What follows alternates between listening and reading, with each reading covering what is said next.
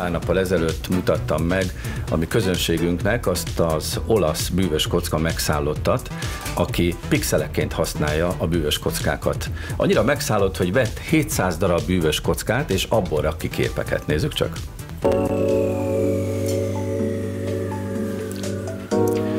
Giovanni Contardinak hívják egyébként a fiatalembert. Egyébként természetesen egy kézzel és bal kézzel rakja ki a kockát. De milyen gyorsan pörgeti a kocka? Szerintem ez i- ilyen nincs, ez irreális. Ez ilyet nem lehet csinálni. Egy kézzel oda se néz és megcsinálja. Dehogy is nem. Elképesztő. Én, én majdnem eljutottam ideig. Vettem egy olyan kockát, amivel nagyon gyorsan lehet ezt csinálni, csak nem tudom ilyen gyorsan csinálni.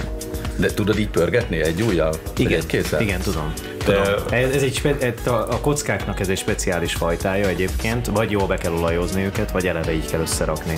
Jobb a jó, de nézzük, hogy em, eh, szintet emelt ez a Giovanni Contarde. Látjátok, hogy a lakásában ilyen képeket rak össze.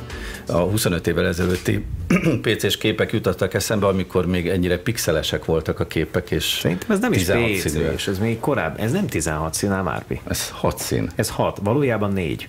Mert fekete meg fehér van, ami persze szín, szín, de a legtöbb ilyen képnél nem tudsz mit csinálni a feketével meg a fehérrel, tehát hogy átmenetet kell csinálni. Ráadásul ezek nem is olyan színek, hogy mondjuk világos piros, meg sötét piros, hanem piros, narancssárga, Sárga, kék, zöld. zöld, kész.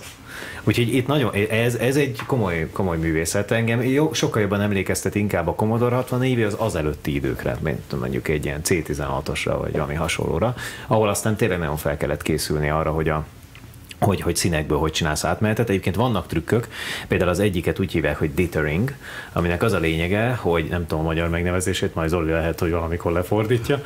Tehát, hogy ilyen, az a lényege, hogy, hogy, a, hogy a, a pixelek úgy vezetsz át egyik szint egy másikba. Színátmenet, ugye? Hogy, ilyesmi. hát olyasmi, hogy, hogy mondjuk képzeljünk egy narancsot, képzeljünk egy kéket, és a kettő közé beraksz olyat, olyan, olyanokat, hogy narancs-kék felváltva. Narancs-kék, narancs-kék, narancs-kék. Mhm. messziről nézve és olyan- messziről nézve ez olyan, mint a kettő köz átmenet lenne, sőt lehet őt is csinálni, hogy kék-kék, narancs-narancs, kék-kék, narancs-narancs, aztán narancs-kék, narancs-kék, narancs-kék, és végül kék vagy narancs. Szóval Giovanni Contardiról nekem az jutott eszembe, hogy olyan, mintha az ő analóg agya digitálisan működne, mert pixelekre bontja ezeket a képeket. Egyébként egy másik felvételen láttam is, hogy maga elé vett egy fotót, és így ment szépen sorról sorra a képeken, tehát a képnek a részein. De az elképesztő, hogy ugye azon a képen, ahogy az előbb is mondtuk, sokkal több szín van nyilvánvalóan, mint amit ő amiből ő gazdálkodhat, mert ami, ami a bűvös kockán elérhető, és mégis ö, így messziről nézve teljesen jól élvezhető képet tudod kirakni.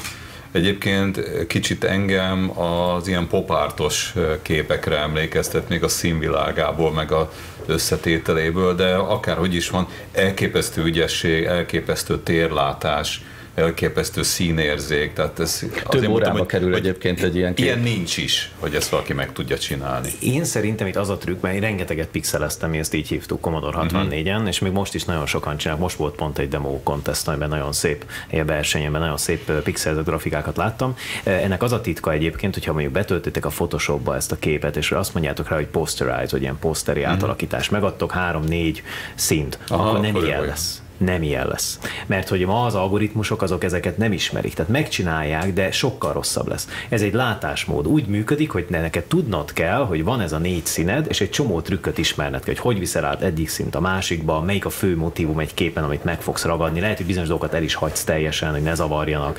Tehát magyarán nem lehet mindent digitalizálni, úgyhogy ez egy technika. Valószínűleg a kép megvan, ő megcsinálja ebből ezt a pixelizált verziót, ami még mindig jól néz ki, és utána a másik csoda, hogy ő beforgatja a Rubik kockával megfelelő Igen. szín kombinációra.